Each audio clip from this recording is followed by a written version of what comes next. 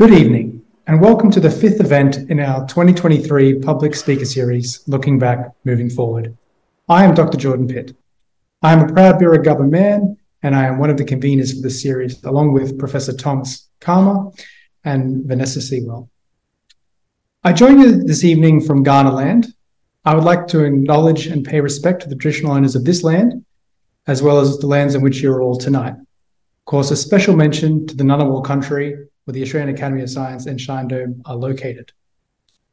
As we share our own knowledge, teaching, learning, and research practices, may we also pay respect to the knowledge embedded forever within the Aboriginal custodianship of country. Now, I would like to hand over to our MC for this evening, Academy Fellow and Associate Director at the Research School of Astronomy and Astrophysics at the ANU, Professor Naomi McClure Griffiths. Thank you for being there at the sh- sorry. Thank you for being there at the Shine Dome tonight. Naomi, over to you.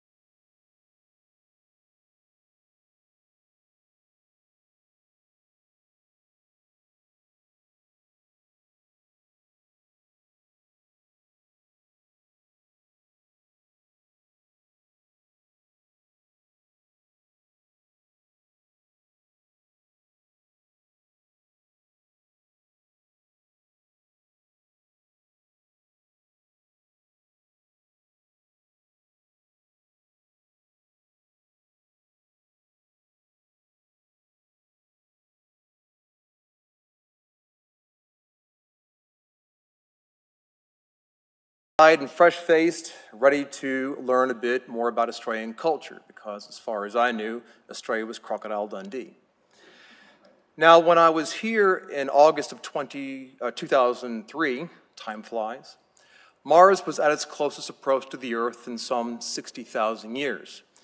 And it was a great opportunity to go to the local observatory and have a look at this beautiful planet and see it a tiny bit bigger and a tiny bit brighter than normal. It was the first time that I asked somebody about Aboriginal knowledge of the stars. And the response that I got was extraordinarily dismissive and quite racist. Aboriginal people don't practice astronomy, I was told. Aboriginal people don't have any science. They're just myths and legends and some names. Quite peculiar, I thought.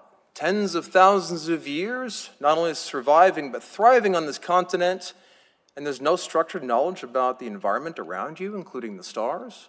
Well, okay, that was quite strange. I went back to the US, but I had the most amazing time in Australia, and it became a bit of an obsession to move back. When I moved back, I was pursuing a degree in astrophysics, but I got drawn back to this question about this problem that I had faced. What do you mean there's no science here? What do you mean Aboriginal people don't practice science? It did not take more than a cursory glance at even some of the most basic stories and traditions to see a rich depth and complexity of science that is woven and embedded through them. I made a decision at that point to turn my attention away from the world of astrophysics and into the world of Aboriginal astronomy. Maybe a strange thing for a white American to do, but it was something that I found quite fascinating. And I thought, well, if nobody else is going to look at the science of this, bloody hell, I'll do it. And that led me on a journey that I never expected would bring me here or to the pathway that I've taken. But what I want to talk to you about is this idea of science that's embedded within indigenous knowledges. And when I talk about science, I'm talking about understanding the world around us. How did it form? How does it work? How are things interconnected? What does it tell us? And of course, how do we do science? We do it through observation. We do it through deduction, through experimentation. It has some kind of practical application. It has a predictive purpose. All of that are the very foundations of science, and all of that can absolutely be found within traditional knowledge systems. Now, I've been very fortunate and honored to work with a number of communities and elders over the last 15 years, and there are a few themes that have come through in this work over that time. One of the themes that comes through very strongly is that everything on the land is reflected in the sky, and everything in the sky is a reflection of the land. As is above, so is below. On the far left, there is Professor Annette Lee. She's a Lakota woman, an astrophysicist, and a professional artist. In the Lakota language, this term is called Kapemni. As is above, so is below. What does that mean? This means that the sky is a reflection of everything that happens on the land. It is a map. It is a clock. It is a scientific textbook. It's a law book. It's a memory space. If you want to know how things work in the world around you, you look to the stars. They will tell you. The second thing that was probably the most prominent about this talk and about my career was from Professor Martin Nakata. Professor Martin Nakata, who's currently the Deputy Vice Chancellor Indigenous at JCU in Northern Queensland, is the first Torres Strait Islander to earn a PhD in Australia. And he spoke to me when he gave me my very first job at the Nura Gili Indigenous Center at UNSW in Sydney. He said, Duane, I'm bringing you here because you're a scientist. And I want you to remember, through the focus of your work, that we are not only a people of culture, we are also a people of science. And I never want you to lose your sense of scientific integrity. And he and I sat and laid down the framework for Indigenous astronomy into the future some 10, 11 years ago. So, this idea that not only are we people of culture, we're people of science, is something that he speaks a lot about. Of course, he wrote quite a, a large theoretical framework that he refers to as the cultural interface. And he does a lot of work at the cultural interface of Western and Indigenous science, ways of knowing. And on the far right, you'll see Uncle Alo Tapim. Uncle Alo was one of the elders from Mer in the far east of the Torres Strait. He has shared knowledge with me for years, and I have been responsible for helping to turn that knowledge into educational curricula and programs for the community. And one thing that he and every other elder that I've ever worked for says the same thing.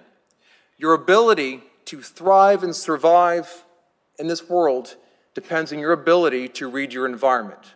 In this case, your ability to read the stars. What does reading the stars mean? It sounds kind of astrological, doesn't it? Reading the stars refers to your ability to observe and interpret all of the changes, no matter how subtle, in the positions and properties of stars and objects in the sky, because they are going to tell you something. Everything has importance, everything has meaning, everything has agency. And if you know how to read that, then you are going to know how to thrive. So I want to show you here are two images. These are both by Uncle Segar Passi. He's the senior Meriam elder on Mer. And you might at first glance think they look pretty much the same, don't they? But if you look very carefully at both of them, they're going to tell you something important. They tell you about weather conditions during two different times of the year during the dry season, the sagir, or the cookie season, the monsoon. And it's about understanding how to read every aspect of the environment around you. You want to look at the types of clouds in the sky. You want to look at the water. You want to look at the moon. Look at the moon's reflection in the water. Every aspect of these gorgeous artworks are telling you something critically important. You see, the angle of the moon changes throughout the year. That tells you about the changing seasons.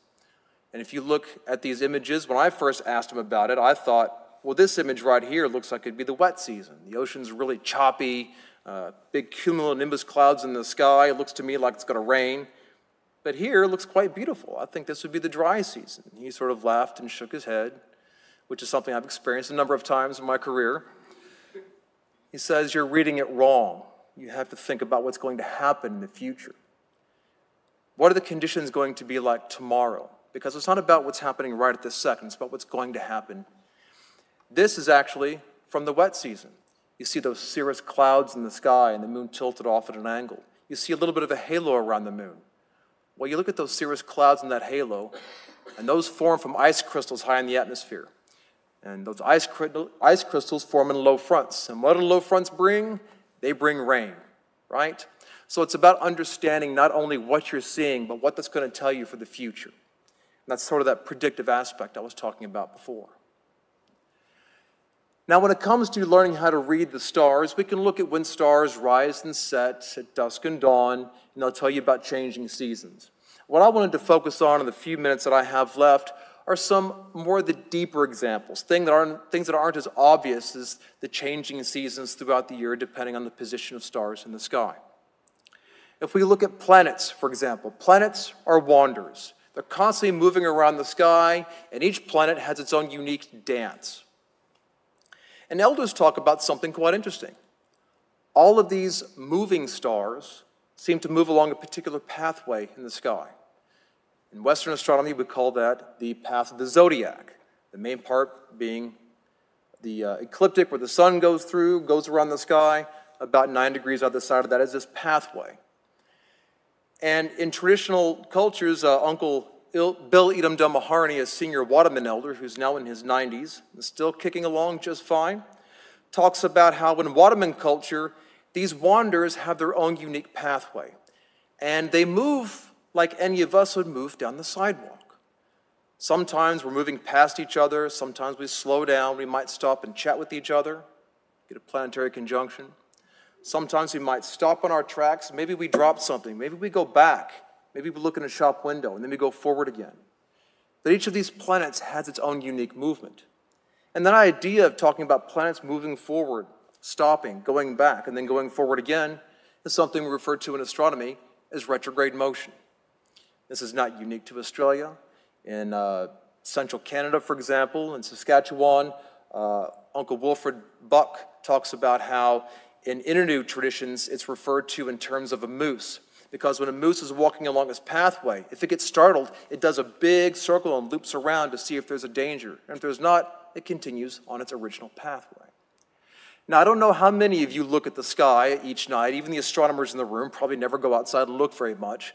But you've really got to be paying attention to what's going on outside to notice these kinds of effects. Now, there's something that comes along these, with these planetary motions that doesn't really get recognized in modern astrophysics when it comes to the knowledges of traditional cultures. These are all morning star poles, Banumbirr poles. And Banumbirr is the morning star ceremony. Of course, morning star referring to the planet Venus when it's visible in the morning. It's a very special ceremony that is only held at very specific times. Now, this ceremony talks about Banumbirr, the creation ancestor who came up from the ground and ascended into the sky and began naming the landscape as she ascended, but she was terrified of floating away, so her sisters tied a white rope to her to keep her from floating away. That white rope we can see in the sky is the Zodiacal light. But the timing of this ceremony is what's really critical because it only takes place when Venus reappears as a morning star. To understand when this is going to happen, because these ceremonies are planned way in advance, you have to understand the synodic period of Venus. I know you didn't come here for an astrophysics lesson, but you're going to get one anyway. Right? So Venus has a very peculiar kind of movement in the sky. It will appear as a morning star for 263 days before it seems to disappear. It disappears for 50 days before it reemerges as an evening star for another 263 days. Then it disappears again, but this time it only disappears for eight days and reemerges as a morning star. This roughly 584 day cycle is called the synodic cycle. Now, understanding this means you've got to pay close attention to the positions of these objects in the sky over long periods of time. But it's also not just this 584 days. It's also a recognition that there's a particular direction. It's not just knowing the morning star is going to rise, it's knowing where it's going to rise. And why is this important? Because if you look at the position of Venus in the sky when it's visible as a morning or an evening star, something astronomers call an apparition, like a ghost, it goes, if you look at the position, it traces out five kind of peculiar patterns in the sky. Each of those repeat every eight years. So you get five apparitions over eight years. Everybody following me? Right? The reason for that is because Venus and the Earth are in 5 eighths resonance. For every five times Venus goes around the sun, the Earth goes around eight times. So to be able to plan these ceremonies, to know when they're going to be held, and to know where to look for Venus, you have to understand this synodic cycle. And I can tell you right now, it's not the easiest thing in the world to do. Some things that have been quite exciting that are going to tie in with what we're talking about in this panel discussion with Uncle Des today is how we can look back to move forward. And one of the things that I've been looking at over the years is how understanding the science embedded within indigenous knowledge can help us challenge the history and philosophy of Western science, and how these knowledge systems can help us move forward within the world of astrophysics and space sciences. And one of those areas is something that came up just a few years ago. And it ties into the last time I gave a talk here, which was in 2014. And I remember one of the astronomers in the audience asking, well, how can this knowledge benefit Western science? And at the time, I didn't have a clear answer. I was still fairly new to the game, as you might say. But now, I finally got an answer to that. So this story here is from Ngarrindjeri country, down south of Adelaide, along the Coorong. And it talks about the story of Wayangari, a young male initiate. And through the story, a sacred taboo was broken. And facing punishment, he and two women ascended into the sky. He cast a spear into the Milky Way, pulled himself up into the sky, where he appears as a bright red star, and these two women were brought up after him. They flank him on either side. He pulled up his celestial canoe in the sky, and when these stars are high above, just after sunset, it signals to the people that the spring is coming, and what we think of as the spring is coming. Winter is leaving, and every few years, Wayangari will get hotter and brighter. And this serves as a signal to the people to follow traditional law and not break the same taboo that he broke. Now, early anthropologists, when they began writing these traditions down back in the 1800s, didn't know their astronomy very well. And they said, oh, well, this must be the planet Mars. Well, that doesn't make any sense because Mars is a planet. It's a wander. It's not going to be in the same part of the sky every year. What the elders were talking about was not the planet Mars, but the star Antares. Antares, the bright red star, with Tau and Sigma Scorpii being the two elements on either side. So the celestial canoe, which is Scorpius, that's high above at sunset every time around springtime. And funnily enough, it's actually in the name. Antares means the anti-Ares, the rival of Ares. Who was Ares in Greek, in uh, Greek mythology? It's the god of war. Who's the Roman god of war? Mars, right? They're rivals in the sky. So ironically, it's kind of in the name that it literally means not Mars, right? But what was interesting about this is when anthropologists, if anybody bothered to look at it, would think about what do you mean it gets hotter and brighter every once in a while, every few years? Well, you might think, well, sometimes Mars is nearest in the solar system, it would appear brighter, which it does, and when it's further away, it appears a bit dimmer. But we're not talking about that. What we're talking about is the pulsation, the variability of Antares as a pulsating red giant star. Pulsating red giant variable stars were not known in Western astronomy until 1840, when Herschel made the discovery um, off the Cape of Good Hope near South Africa. But these traditions go well and truly beyond that in time. And it's not just Antares.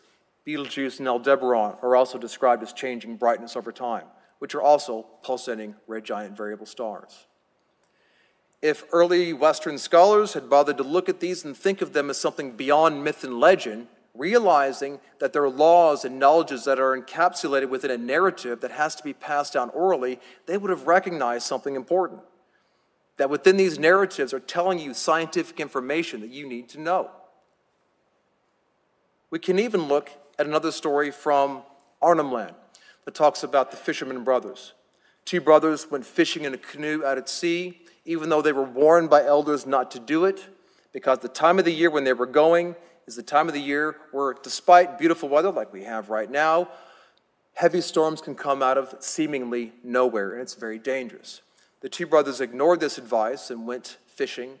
A storm quickly began brewing. Recognizing it from a distance, they began paddling frantically back to shore, but the storm came too quickly.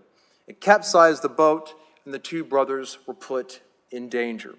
The older brother saved his younger brother's life at the expense of his own. After the storm, somebody came down to the beach and saw the wreckage of their boat told the community, everybody ran down. They found the younger brother barely alive, and he survived, but they found the older brother who had drowned. And the traditions say that a short time later, a bright new star appeared on the sky banks of the Milky Way. And this represented, they believed, the older brother telling them that he was safe in the sky with the ancestors. The younger brother lived to be a ripe old age, and before he was about to pass, he asked the ancestors to put him in the sky with his older brother. They became the two stars, Shaula and Lesath and Scorpius, we think of as the stinger stars of Scorpio. And those stars in that part of the sky, which you can see here in the middle of the Milky Way, same part of the sky we talked about before, it's these two stars right here, right in the Milky Way. At that time of the year, monsoons can seem to come out of nowhere. And it serves as a lesson, an important reminder for people to obey traditions. When the elders tell you something, you listen for a reason. Now, it could be that the story is purely allegorical, it's purely symbolic. And that's possible. But what's also very interesting is the fact that in the year 393, a brilliant supernova, one of the brightest supernova in the last 2,000 years, happened on the banks of the Sky River, the Milky Way, the banks being the that boundary between the light and the dark spaces in the Milky Way appeared right there at that point in the sky. Of course, as most supernovae do, it becomes very bright and then fades away. When the younger brother grew up to a ripe old age, he and his brother became the two of the closest stars nearby, Shaula and Lesath. So, what this is telling us is if astronomers collaborate with elders and stop thinking about oral tradition as myth and legend and see them as ways of transmitting knowledge and science, we can come to a lot of innovative discoveries and ways of being able to move forward. These traditions could inform astronomers on where to point their telescopes as astronomers are looking for supernova remnants. Or maybe you find one and you're trying to see if there's a tradition that discusses that, as has happened before.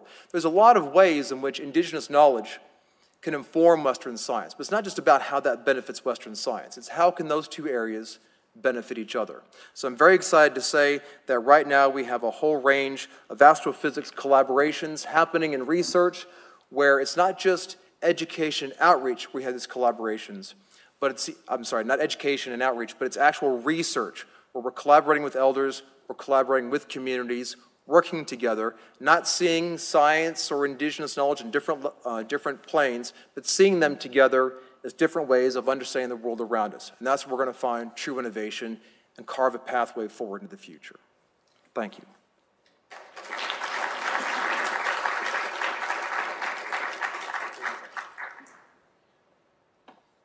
That was spectacular, Duane. It's um, really wonderful to look at the sky with different eyes from the eyes that I use in my day to day job as an astronomer and that was wonderful. So I'm looking forward to the questions that we'll have at the end, and we'll have the opportunity to ask questions of Duane a little bit later.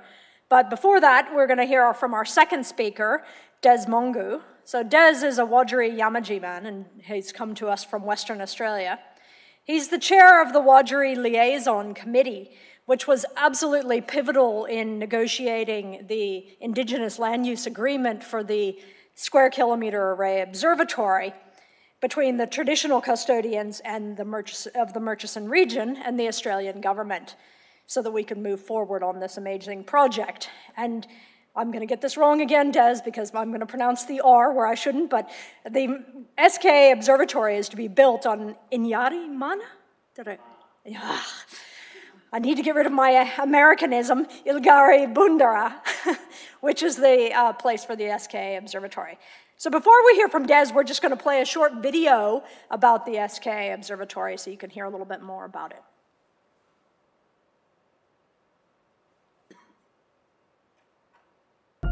At first glance, this could be a plantation of Christmas trees in the Australian outback. But you're looking at what some are calling one of humanity's biggest ever scientific endeavours. This is an artist's impression of what's known as the SKA Low Telescope, currently being built in Western Australia. It's one of two critical components that, when completed, will together form the SKA Observatory, or SKAO. The second part is the SKA Mid Telescope, now under construction in South Africa. SKAO will consist of more than 130,000 antennas and almost 200 dishes across the two continents. That will make it the largest radio observatory in the world, promising to answer some of our biggest questions about the universe. ANU's Professor Naomi McClure Griffiths is a fellow of the Australian Academy of Science who discovered a spiral arm of the Milky Way and is chair of SKAO's Science and Engineering Advisory Committee. She says SKAO will enable science to take a giant leap forward. It's the chance to be able to see the very first stars in the universe and when those turned on. And then everything from the very beginning to us here and looking at how planets form in our own galaxy. For that to happen, radio telescopes must be located a long way from other human made transmissions, such as TV, radio, and mobile phone signals, which can interfere with the relatively weak radio waves coming from space. That makes this site on Wajarri country ideal. It's already home to precursor telescopes like this one. The site itself is called Inyarrimanha Ilgari Bundara, the CSIRO Murchison Radio Astronomy Observatory, which translates to sharing sky and stars. The traditional owners agreed to host the science facilities on their land as part of a broader agreement that will ensure educational, social, and economic benefits for community. And the benefits to society as a whole can't be overstated. Science Minister Ed Husic says SKAO's cutting edge technology will expose Australian businesses to new skills and capabilities. We will see those changes flow on for generations to come. SKAO will also enhance Australia's growing space industry, with scientists from around the world making regular use of the observatory.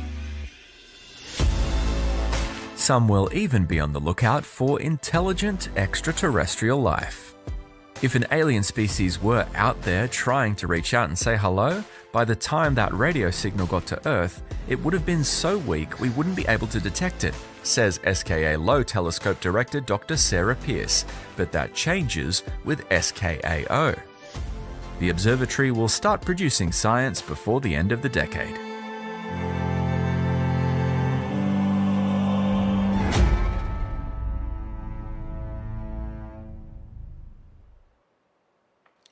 So as you can see, it's a fairly remarkable project, and we are extremely fortunate that the Wajarri Yamaji are sharing their country with us to do this project. And I'm really looking forward to what Des has to tell us uh, about the project from his perspective. So welcome, Des.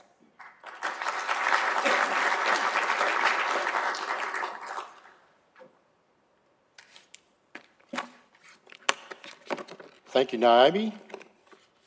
Thanks, Duane. That was uh, quite interesting and uh, I uh, really enjoyed it. So, thanks everybody.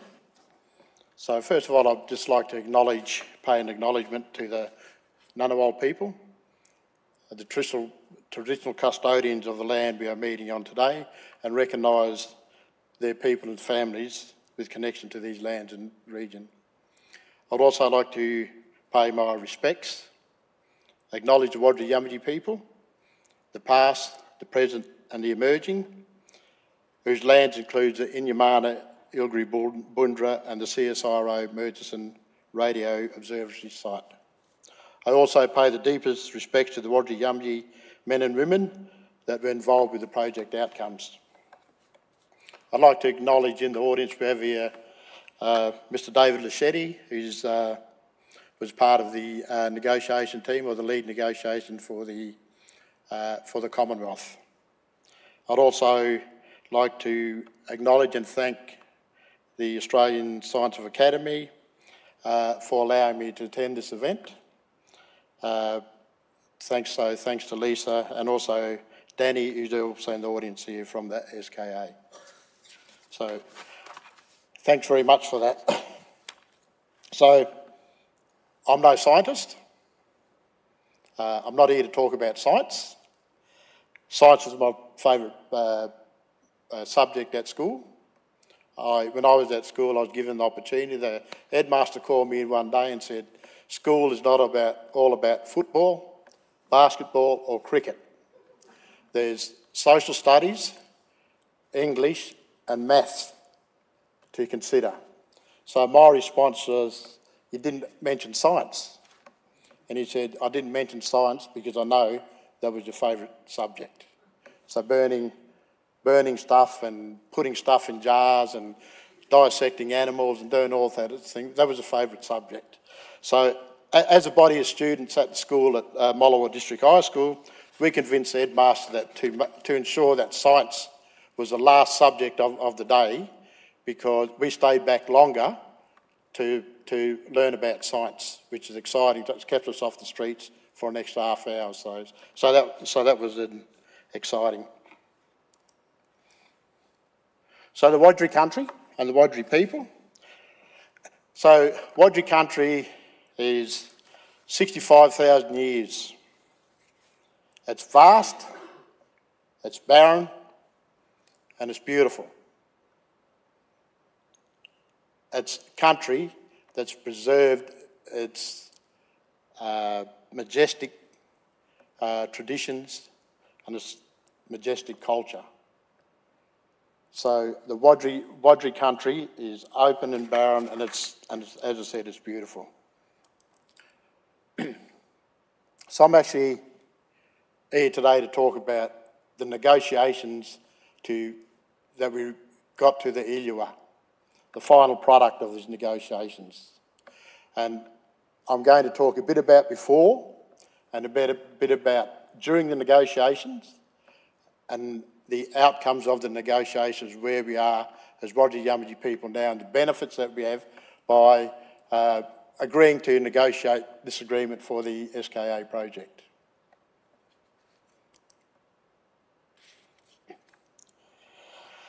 So, Wajarri country, prior to uh, the square kilometre array, Boolardy Station was a uh, former remote sheep and cattle station, and it's in the Murchison area of the midwest of Western Australia. It was acquired by the CSIRO to build an observatory which hosts the two SKA precursor instruments. CSIRO's Australian Square Kilometre Array, Pathfinder, and the Murchison uh, Widefield array. So the the ILUA or the or the ILUA is an Indigenous Land Use Agreement. And that Indigenous Land Use Agreement came about because of, of a negotiation between two parties, the, the, uh, the federal government and the SKA team and the Wajarri Yamaji negotiation team. It initially, there was a 2009 agreement for the uh, Murchison radio astronomy, astronomy. We all knew that project had to exp expand and had to become something more significant and more bigger and larger than it was. And we all understood that there was going to be an, another negotiation, there was going to be another ILUA, and we all had to be involved with that ILUA to ensure that we have the best outcome that can, because that, this was a 50-year project, a 50-year agreement. And it was 20 time, 27 times bigger than what it, currently is now. And as I said, I'm going to talk about the, uh, uh, the negotiations. Uh, and, then, and the negotiations were about the Wajarri Yamatji people having the benefits which they could preserve. And it's not all about financial benefits. It's not about money. We made it quite clear during our negotiations that we wanted protection of our culture. Both negotiators uh, were, were hard, they were, they were long, they had a break in between with, the, with COVID. However, we were still on the pathway of coming to some sort of collusion for an ILUA that benefited both of us. And I could stand here today and, and say that those negotiations were sometimes aggressive, sometimes peaceful. However, came together because we were all determined to see this work. And as I say that, there's still not uh, 100% uh, acceptance by Wajarri Yamatji people. Some people still wanted their country protected and certain parts of their country protected.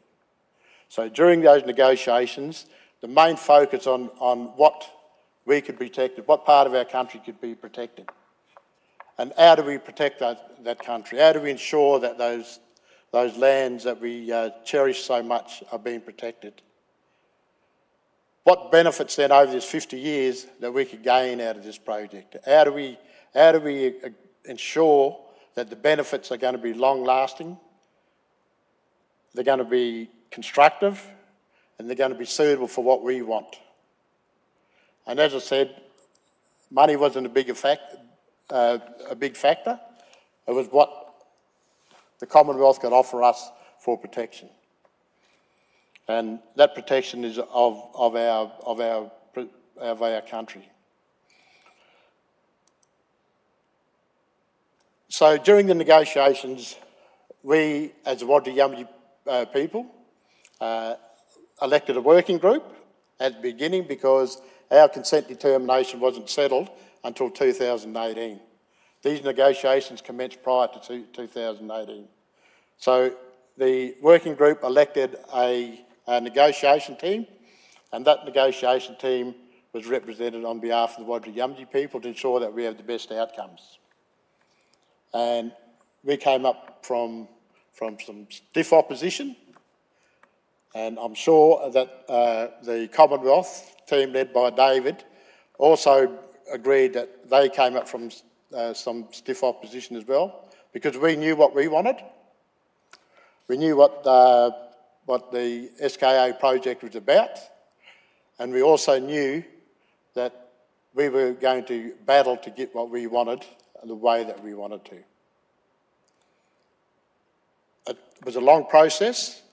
It was a drawn out process, but we all were on the same path. And eventually, when we did come to the agreement, it was a damned hard work. It was some of our negotiation team didn't agree. So convinced the Wajarri people that the benefits that we were going to get were long term, and those benefits were going to in include every Wajarri person that were acknowledged as a Wajarri person. So as I said, hard negotiations. So during those negotiations, it was back and forth. We had people flying in and out of Canberra to Geraldton. Uh, the meetings mostly took place in, in, in Geraldton because it's easily accessible to everybody. What we wanted out of this was heritage protection. We wanted our culture to be protected. And the protection of that culture was about how are we going to preserve that culture. So within the negotiation then, we set up what, what we call the Heritage Protection Committee. And that Heritage Protection Committee now meets uh, every three months, but also we have the, the uh, liaison committee as well. So that liaison committee meets every three months as well. So we have two parts of this agreement to ensure that heritage is protected and culture is protected.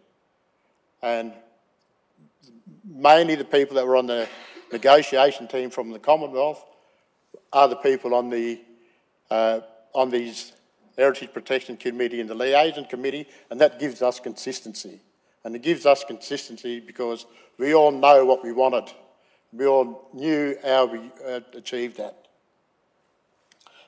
so that ILUA was actually signed on the 15th of September, and it's actually the first of its kind globally for what we've uh, uh, what was signed. So the so the Wajarri Yamaji com community voted unanimously to ensure this agreement was signed. And the negotiation team from the Commonwealth and the negotiation team from Wajarri, they were all there on the day when, when the Wajarri Yamaji common law holders agreed that this ILUA was a good thing for our people. And it offered to our people what our people wanted. Protection of country, financial benefits and opportunities. And those opportunities I'll talk about in a minute, but they've been well received by our people.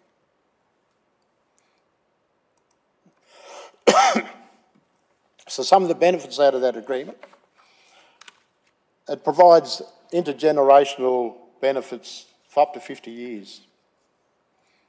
But also included in that there's a lot of uh, non, a range of non-financial benefits, and those include enterprise and training.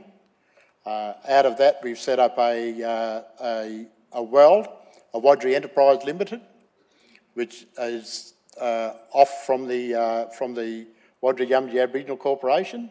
So that's an identity by itself, which have which has just recently signed some joint ventures for the construction of the, of the ILUA.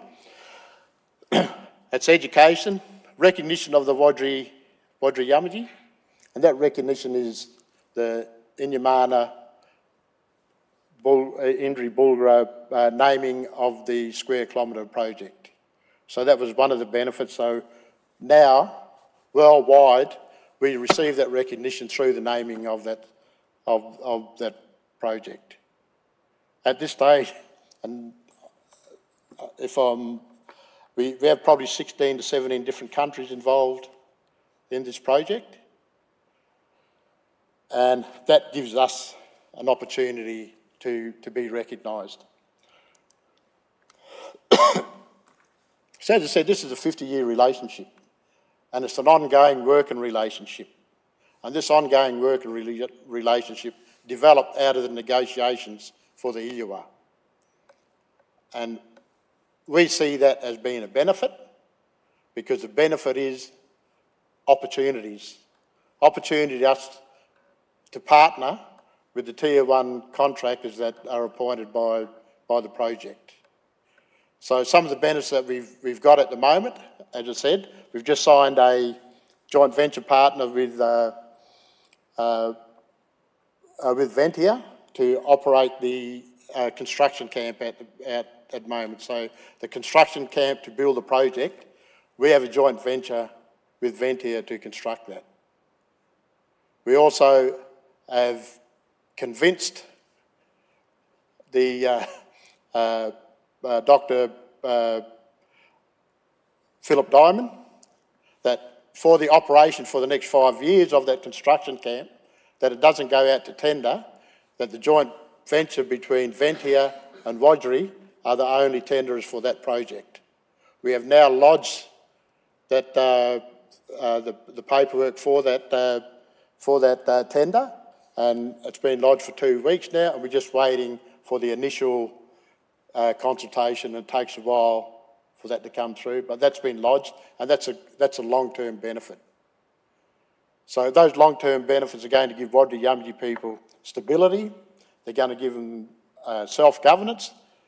But self, government creates yourself in self-pride, so you're proud of what, what you've achieved. And we spread that message that what we get out of those benefits is what we, what we fought for. So the other part of, of those benefits is that we have uh, an office, we have a business development manager, we have a liaison officer in the office, uh, we have constant engagement with CSIRO, SKA, we have constant interaction with all the people that were involved this, in the, this project. As I said earlier, it wasn't easy and it wasn't hard. It was just two parties coming together and understanding each other. Understanding what we wanted, understanding what they wanted. We've learned a valuable lesson as Wajarri people during this negotiation period. And that valuable lesson is if you want to come and negotiate with us, you come and negotiate with nothing.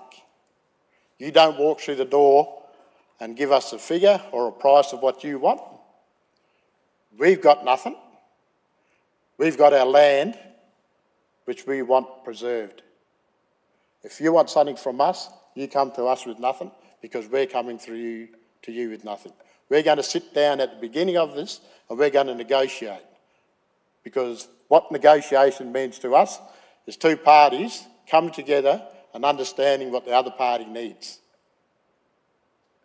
We don't want to start with a figure up here and we come somewhere in between. We want to start here with nothing, then we want to build it up. We're only going to build that up together. And that's a valuable lesson that we learnt in those six years that we did the negotiation for the, for the ILUA. And it's a valuable lesson that we're going to move and take forward when we, as a proud nation of Wajarri Yamatji people, are going to build on the prosperity of what we achieved through this negotiation. What these benefits that we receive are long-term be benefits that are for the interest and, and the, the benefit of all Wajarri Yamatji people. So the negotiation was a valuable lesson. It's one thing that we've taken away from that. And it's one thing that we're going to move forward in the way that we deal with people in the long term. We have those benefits, we have financial benefits, which is absolutely fantastic. Gives us and our people an opportunity to understand and realise what we could do. And in saying that and closing off on that, those, sorry, that is sensitive. So those benefits, they're there, but also what it does make us do as Wajarri Yamatji people is makes us be determined to advance our own cause and to advance our own cause to develop and sustain our people into the future. And those are employment opportunities, business opportunities, and self, self uh, preservation for each other. We know, we know for the next 50 years that our culture is going to be protected in a certain area. We know that. That's what we wanted. And we know it's going to be protected because we know that our negotiation was the right, was the right thing to do. Otherwise, the land that was purchased, Boolardy Station, was purchased by CSIRO. We know that that land could have been, you know, they could have come and said, this is what we're going to do. Sit down the table with us and discuss something, and you'll get some benefits. But they approached us in a different manner. They approached us to negotiate with them, and we're very appreciative of that. We have now something to move forward with. And what we have is a great learning curve that everybody that wants to be involved with this project have to come to us. Everybody that's involved uh, in the project are required to attend a cultural awareness course. Everybody that goes out to Boolardy, to the project, prior to them going out to that project has to understand Wajarri, Yamatji, customs, and traditions. I don't use the word law because we don't have law uh, carried out in our country anymore. But the, the customs and traditions of the Wajarri Yamaji people are now protected for 50 years. And that's the most important thing to us, and that's the most important thing for us during this negotiation. So,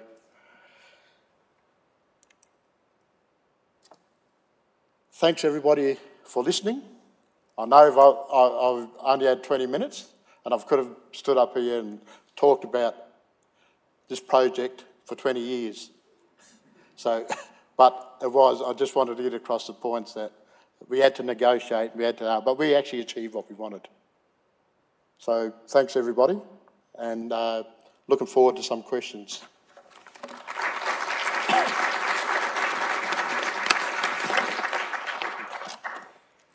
Thanks very much, Des. It's uh, fantastic to hear about the mutual benefits, and I'm really looking forward to personally going through the Wajarri cultural training myself in two weeks. So I'm really looking forward to that. Okay, so now I'd like to invite questions from the audience for both of our speakers. Um, you can submit your questions online by scanning the QR code on your screen if you're online, um, or you can come up to the microphone, which is there. We have incredible microphone runners here. Um, so, can I open the floor for questions? Don't all jump at once.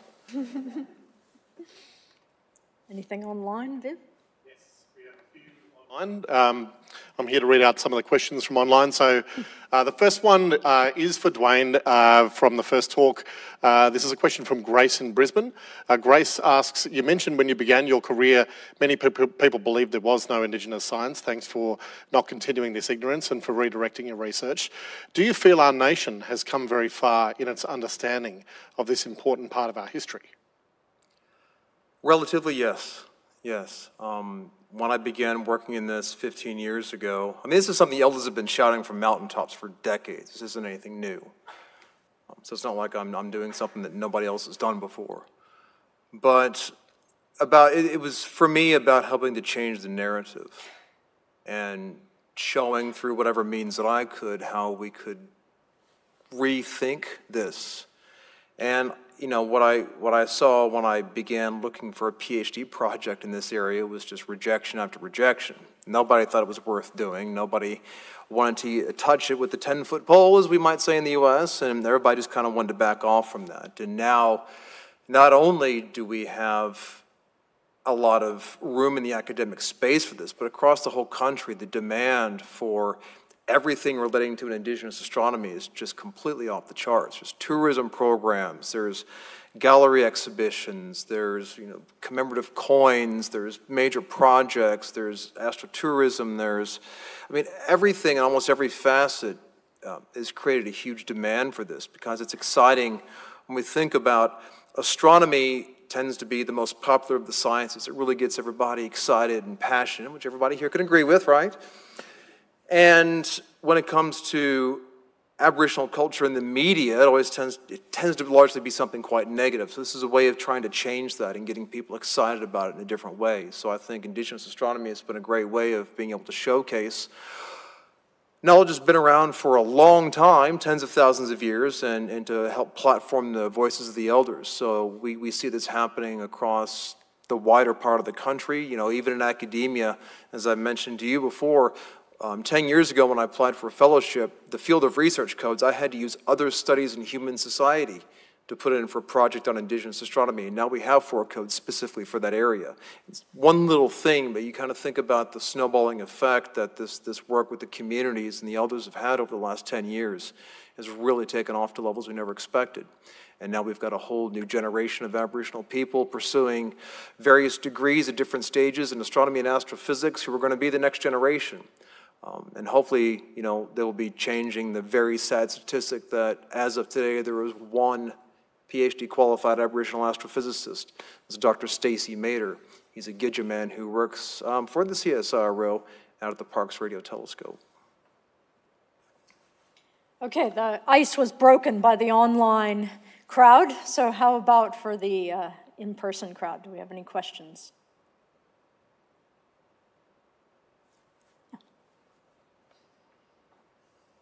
Uh, thank you for a fascinating presentation. My question is whether the, there's an opportunity for the Indigenous knowledge to help inform the science agenda that will be carried out by the SKO. Just sort of bringing together Duane's presentation and then the comments that Des was making. Will there be that opportunity for input on the science agenda? And, and, yeah, and, and, and thanks for that. And, and yes, there is an opportunity. And those opportunities are coming about by the educational programs that we have in place. But it also gives us opportunity now to, to talk with people like Duane on how we, how we could embed that into, into what we hope to achieve. So there's always those opportunities and, and we're encourage, encouraging our people to actually take up some of these opportunities. You know, they might start low, but you have to get to a stage where this gives us great opportunity. Our, our knowledge of our land on our boundaries is through the sky and the stars. Not, not only the, the, uh, the mountains and the rivers and the trees, but it's also what's above. And Duane pointed out earlier, what's above is what's down, down below. So what's above for us matches up with, with what's down below. So the stars tell us how far our boundaries extend to and what, what's within our boundaries. It also tells us when the emus are ready to lay eggs and we're ready to go hunting, it gives us an indication of, of when that happens. So when the, when the sky changes, we know that then the emus are going to go start laying. So that gives us that, that above, gives us the knowledge on the ground to start looking at that. So yes, so there is those opportunities, but we have to take up those opportunities by speaking with people like Duane. So. And if I can take the MC prerogative on that, the, the history, the traditional history that has set where the antennas are actually placed for the SK Observatory is an amazing aspect that the traditional history has placed how we are going to look at the sky, has determined how we look at the sky there. Um, and I think that's a really nice connection with that quote about everything in the land is reflected in the sky. That, that does, yes. Yeah. And, and, and that history extends not only for where the, where the project is, the project is only a small part of Wajarri country. It's only a small area compared to what the whole of the Wajarri uh, country, country is. So, and this is why it's so special to us that we have this project and it's not only special because we have the project, we have benefits out of it, it's also special to us because we now have, as Wajarri Yamaji people, we now have world, worldwide recognition. As I said, there's 16 or 17 different countries involved with it, so that expands our expands out the Wajarri Yamaji people to all the people in these 16 uh, or 17 different countries. So. All right, we have time for probably one more question. Do we have another here? Yeah. Thanks. I've spent many nights bushwalking in northern Australia, lying on a hot rock in the evening, looking up at the Milky Way, and on moonless nights, the dark emu, and I'm just always in awe of the Magellanic Clouds. But let's get closer. Perhaps I was in postdocing in Germany and realized I didn't understand the phases of the moon. And I'd learnt this at school, but it just, it, there was no deep understanding. And I was reminded of this with um, Duane's initial um, images of the moon, crescent moon, and how you look at the crescent moon, for example, oh, I can't remember. There was one when it was just inverted, and you could look at that and say, well, the sun is right below us, whereas the other one, crescent like that, the sun's below the horizon off there. And I was wondering to what extent the, the phases of the moon uh, inform indigenous knowledge of the sky. And I suppose it's something that changes much more regularly than than the yearly cycles of, of the stars. It's probably your thing, Matt. So you I'll, I'll, yeah, I'll come in after and say it's it's it's quite prominent, and the things that you learn from the elders about the phases of the moon. You can think, okay, we got first quarter, full moon, third quarter, new moon, waxing gibbous, waning crescent, those kinds of things. Uh, in a lot of traditional cultures, there is a specific and unique name for every single day of lunation cycle. 30 different names, 29 different names of the moon uh, that are all unique. And there's memory techniques for learning those songs you can utilize. But what I find fascinating is not only the link between the moon phases, but you look at that, the cusp, what angle of the cusp. I can tell you about different times of the year where you might have a change in rainfall, especially if you're in an area that has a distinct wet or dry season. But also other things that tie in with the phases of the moon, such as special ceremonies that are held in the Torres Strait. In the Torres Strait, an astronomer is called a Mabaig. It literally means constellation person. And that's traditional astronomy. That's not a modern translation. That's a traditional role. And that person would go through years of intense instruction in the quad, a place of learning. And one of the very senior levels of knowledge only took place on very rare occasions. It was a ceremony that was planned well in advance. It had a special dari, special headdress, a special dance and ceremony. That only took place during a total lunar eclipse. And the ceremony was performed when the moon went red. So you've got understanding the, the phases of the moon, you know, going through this cycle, the moon disappearing for three days before coming back to life. Um, these cycles tying in with that, but also a lot of traditions about lunar eclipses and also solar eclipses and how they work. And knowing that during a solar eclipse, it's the moon covering the sun. Even though you can't see the moon, you know it's there. So it takes a, a special recognition, a special uh, power to know exactly where the moon is at every point in the sky, even when you can't see it. Of course, it's linked to tides and it's linked to uh, annual rainfall and things of that nature.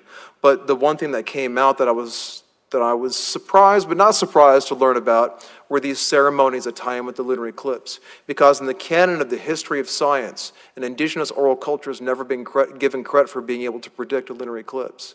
But as the elders told me, this is planned well in advance by the Zugubal Mabaig. And to them, well, of course you predict the lunar eclipse. That's when they told you when that was going to happen. And I'm sitting here going, you know that's nowhere in science is that recognized. And they're like, well, I'm not surprised. but it just, what, what I'm getting at is, is the levels of knowledge are so deep and so complex in that, that I think if you're not from that culture, it might seem to boggle your mind, but um, it's important that we learn from those communities because there's so much that we can that we can learn from them and so much we can share for the future. Could I, I just add a bit to that? Because again, with the ceremonies and the way that we survived and the way that we travelled around, being such a transient uh, a, a group of people, that the moon and the stars gives us direction. What it does for us now is to bring the Western science in line with what we call our cultural science. So we, align, we can align those two up now because we know more about it.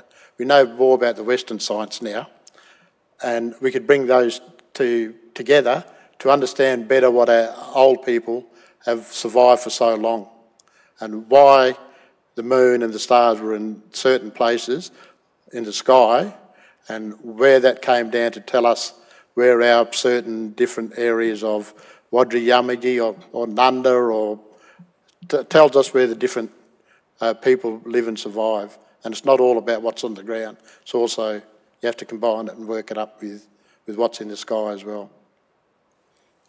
I think that is a beautiful way to end it, where we bring together joined knowledge systems. And I'm afraid I know there are probably more questions, but we're out of time for this evening. I'd really like to thank both Des and Duane for joining us tonight and sharing with us their knowledge. And I greatly appreciate you sharing your time as well. Um, so I'd also like to thank the conveners of this series, Tom and Jordan, who we heard from earlier, and Vanessa. And I'd like to thank Edge Catering, who provided us with very yummy cheese. I hope you partook of some of that. It's very nice. Um, and finally, I'd like to thank all of you for coming and, and sharing with us and for your good questions. And I hope that we'll see you back here for the final installment of Looking Back Moving Forward, which will be on Tuesday, the 12th of December. And there'll be more information available soon about that. So thank you all very much and good night. Merci.